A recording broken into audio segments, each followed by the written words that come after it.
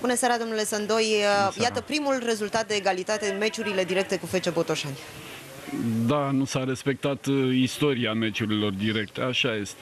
Da, e un uh, rezultat de egalitate care vă spun sincer că pe mine mă mulțumește în condițiile în care l-am obținut și având în vedere exact cum spuneam înainte de meci că întâlnim o echipă cu foarte multe individualități. Să știți, eu chiar vreau să subliniez uh, politica pe care o are FC Botoșani, chiar dacă aduce foarte mulți jucători străini, aduce jucători de calitate, jucători care reușesc să se impună în campionatul nostru și unii dintre ei ați văzut văzut, chiar fac pasul la echipe mai puternice. Că se mai acomodează acolo sau nu se acomodează, asta depinde de, de ei. Deci o echipă cu multe individualități, cu multă calitate individuală. Le-am și, de asta le-am și spus băieților noștri că va trebui din punct de vedere tactic să facem foarte puține greșeli astăzi și au reușit să respecte. Mă rog, uh, cred că ne-am învățat în ultima perioadă să jucăm și în 10 oameni. Astăzi am, am jucat decât vreo 20 de minute în 10 oameni, dar cu FCSB am jucat 90 de minute punând la socoteală și prelungirile și ați văzut că am luat gol în ultima secundă a, a jocului din penalti. Ar fi fost chiar culmea să se întâmple și astăzi, dar mă rog, mie mi se poate întâmpla. Uh, în rest, să, vreau să-i felicit pe, pe jucătorii mei pentru, pentru modul în care s-au dăruit astăzi, pentru modul în care au încercat să, să respecte. Poate dacă aveam și puțină șansă acolo, să știți că nu întâmplător Neguța a avut execuția pe care a avut-o. Poate dacă aveam puțină șansă și mingea nu ocolea, a prins un efect ciudat, pentru că noi eram chiar aici pe bancă și am văzut traiectoria.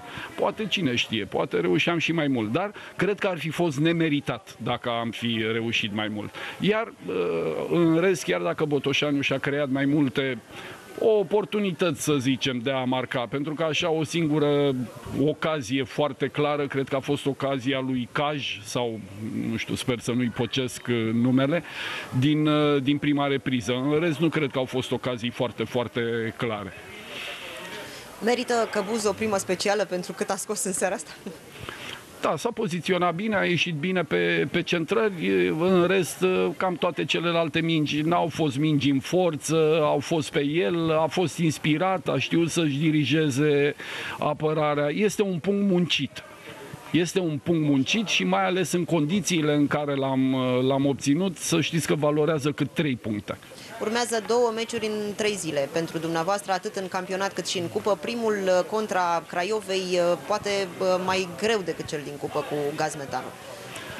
Da, vom încerca, v-am spus, și Cupa României. Noi încercăm să o respectăm. Asta nu înseamnă că nu vom mai încerca să rulăm și alții jucători, exact cum am făcut și în campionatul trecut. În campionatul trecut, mi-aduc aminte, am avut o dublă cu Craiova, campionat, cupă și după aceea un joc la Sepsi. Ne-a ieșit în campionat pentru că am câștigat în campionat cu Craiova și am câștigat și la Sepsi după aceea. Am avut trei meciuri în șase zile, iar etapa de cupă cu Craiova, jocul de cupă cu Craiova, am folosit mai mult, mai mult echipa echipa a doua, echipa a doua. Nu, jucători care evoluaseră mai puțin și am pierdut 1-0. Deci să știți că și aici vom uh, respecta cupa, ne dorim să mergem mai departe, dar bineînțeles că primordial este jocul pe care îl avem cu Craiova. Sunt bucuros că ne mai intră jucătorii suspendați, măcar nu știu exact dintre cei accidentați dacă vom reuși să, să recuperăm vreo unul dintre ei. Ar fi foarte bine pentru că vedeți și dumneavoastră, vă spuneam înainte de meci că Stoian nu este, nu are decât două săptămâni de pregătire și de asta, rămânând și în 10 oameni, nu l-am introdus uh, astăzi. Rumpulacul venea de, după accidentare, l-am băgat 30 uh, de secunde pe final și în rest aveam numai copii. Ați văzut că am încercat să schimb, l-am băgat pe Șerban Andrei, am încercat să și debutez un junior Jipa care are reale perspective. Îmi pare rău că n-am, reușit să-l folosesc mai mult, dar poate la meciurile următoare. Mulțumim foarte mult! Pentru puțin. Da. Cristi!